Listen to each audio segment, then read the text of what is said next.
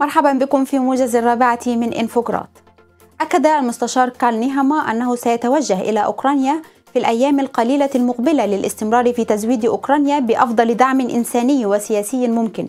ذلك بعدما أعلن الرئيس الأوكراني فلوديمير زيلينسكي في رسالة بالفيديو موجهة إلى الشعب الأوكراني أمس الاثنين أن المستشار النمساوي سيزور أوكرانيا ذاكرا أنه ناقش مع رئيسة المفوضية الأوروبية أورسولا فندرلاين والمستشار نيهاما.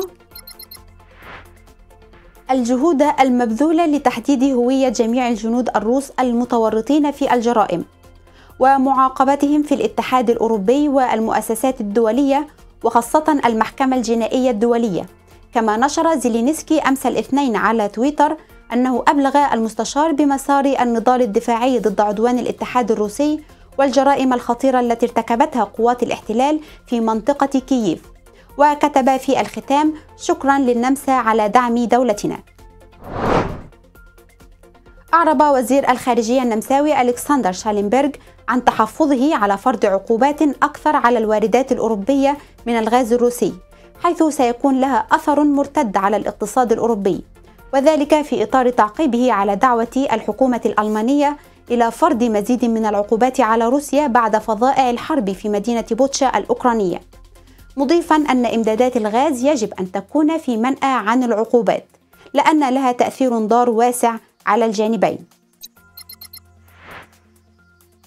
وطالب شالنبرغ بتحقيق دولي في جريمة مذبحة بوتشا مشيرا أن النمسا تؤيد تقديم شكوى عن الأوضاع في أوكرانيا إلى المحكمة الجنائية الدولية في لاهاي. وتوقع الوزير إقرار المزيد من العقوبات ضد روسيا قريبا مع استثناء فكرة حظر الغاز الروسي لافتا إلى أنه يمكن تجديد الخناق من خلال عقوبات في مجالات أخرى. أكد وزير الداخلية النمساوي جيرهارد كانا اليوم الثلاثاء أن القضاء النمساوي أصدر أحكاما بالسجن المشدد لأكثر من عشر سنوات على بعض المتطرفين اليمينيين ما سوف يساعد كثيرا في السيطرة على جرائم التطرف اليميني في البلاد. وذكر الوزير إدانة مغني الراب اليميني المتطرف المعروف باسم السيد بوند لنشره أغاني تدعو لتمجيد النازية. إضافة لشقيقه الذي يدير موقعا لنشر خطاب الكراهية والتطرف ذات الأغاني كانت ملهمة لبعض الجناة في جرائم أخرى. وأبرزهم منفذ الهجوم الإرهابي على مسجد في منطقة كرايست تشيرش في نيوزيلندا قبل سنوات قليلة. بالإضافة إلى إدانة رجل آخر يبلغ من العمر 78 عاما وهو عضو بارز في حركة الهوية النمساوية اليمينية المتطرفة حيث كان يخطط لهجوم إرهابي. طالب فولفغان كاتسيان رئيس اتحاد النقابات النمساوي بزيادة الرواتب بنسبة 6% بسبب التضخم الهائل في الأسعار موضحا أن الناس أصبحوا خائفون والعديد منهم على وشك الدخول في مستوى الفقر.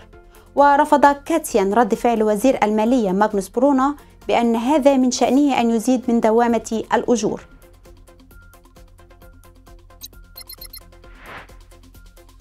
حيث أن هذا رد فعل طبيعي للموظفين الذين يرغبون في حماية أنفسهم من هذا التضخم.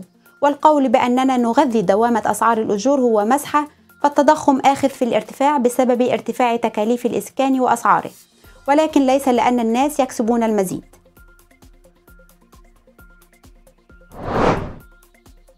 كان هذا موجزنا ونلقاكم على الساعة الخامسة والنصف مساء خاصة في رمضان بقراءتنا الإخبارية الموسعة وإلى اللقاء.